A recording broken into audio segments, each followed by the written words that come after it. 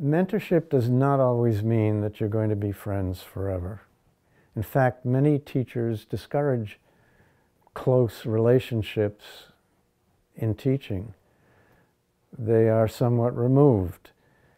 I happen to enjoy making friends.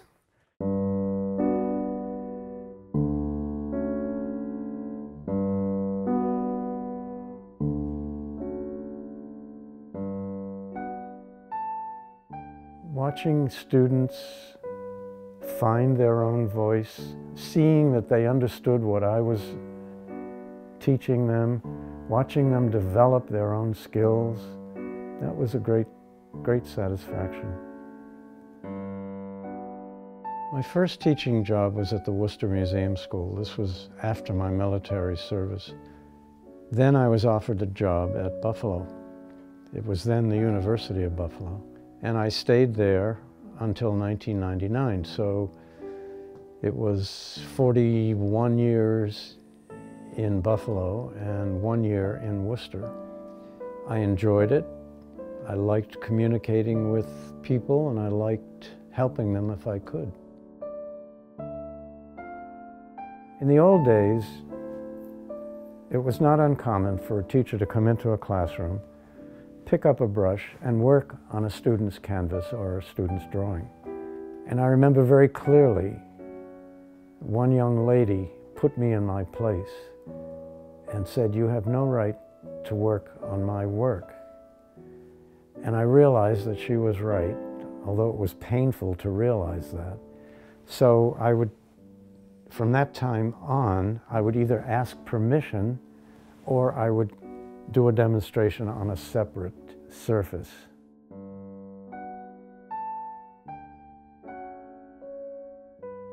At the graduate level, I had to think conceptually along with the student. I had to understand what where they were coming from. And invariably, where they were coming from reflected what they understood about what was going on in the world of art that appealed to them, that informed them. Just as I was informed by abstract expressionism, they might have been informed by pop art, uh, geometric art, realism, um, social comment, political comment, and if I didn't under, quite understand what the student was doing, or if I thought I couldn't help them, particularly at the graduate level, I would invite them to find somebody who could. I would never try to dissuade them or to change their minds particularly. Rather, what they were doing would be my clue as to how to proceed with my comments about their work. You have to find common ground, you have to find a way to communicate, but you don't have to live together or be friends for, for life necessarily unless it just happens. When I got to Buffalo and I saw the collection at the Albright Knox Art Gallery of abstract expressionists, this was in 1958, that was a major turning point for me. And I turned my back on what my roots had been and decided to become an abstract painter without having had any contact with the abstract expressionists or abstract painting uh, at all. On some occasions, I have gone back to realism just to see if I could still do it, and I can. But the pull of abstraction is so strong that ultimately I'm very comfortable working in that way.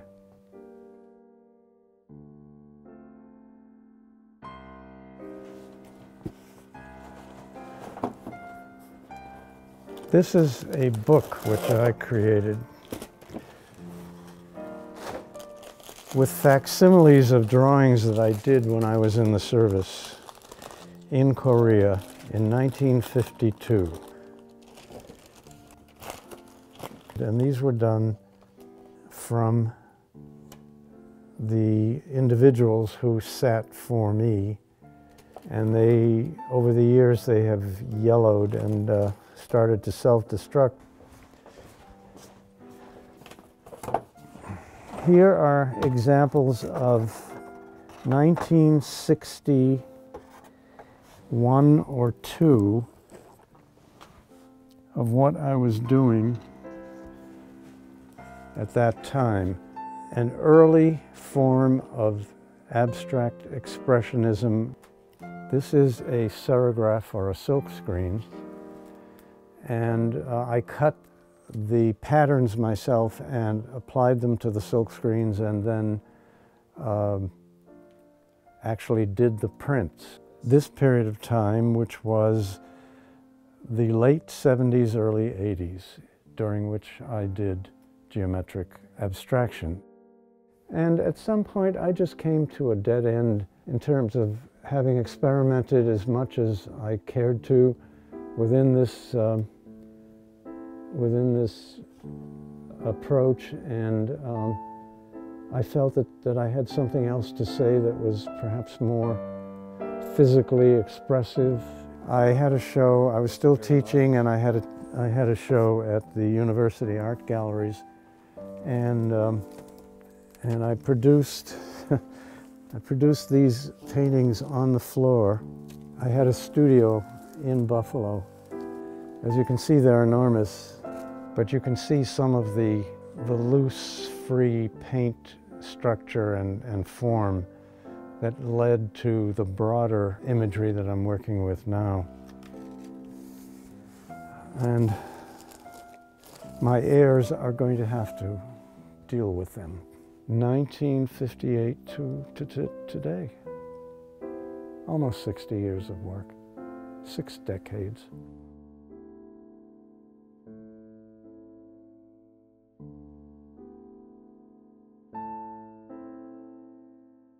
With some trepidation, I take a chance and I dive in and I pour the paint.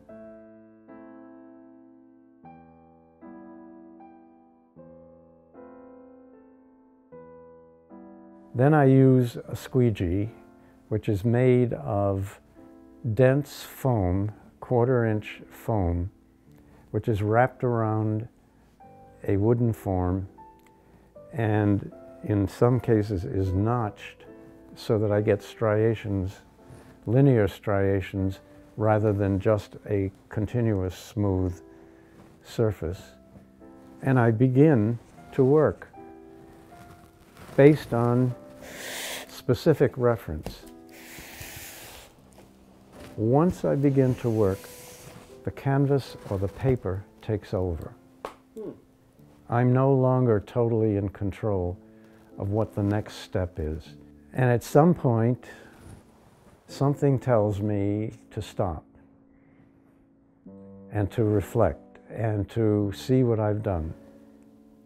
Now I can work wet into wet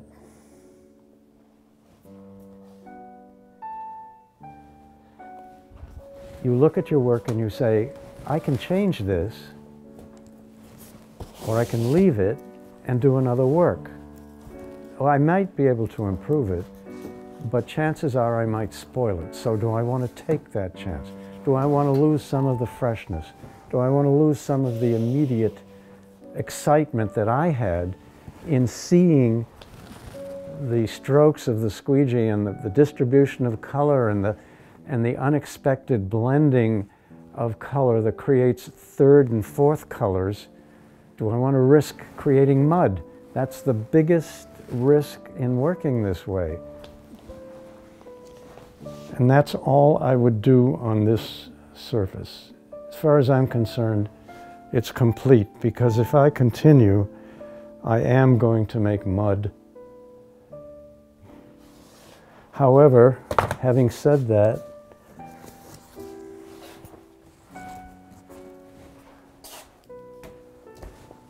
I have to decide now whether I like this or whether I want to change it.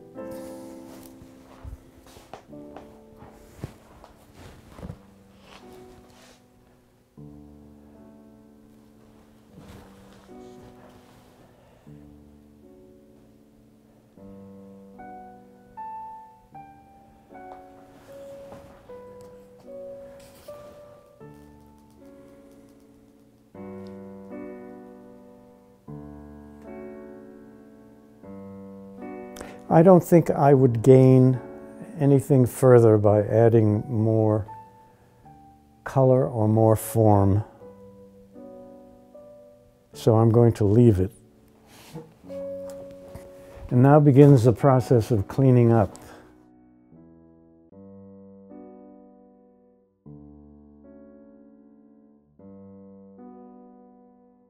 So my work was eclectic for a number of years, and it took a long time for me to find my own voice, and it's still informed by abstract expressionism, but I believe it's my own idiosyncratic form of abstraction, and I'm constantly reinventing or inventing based on that school of, of art.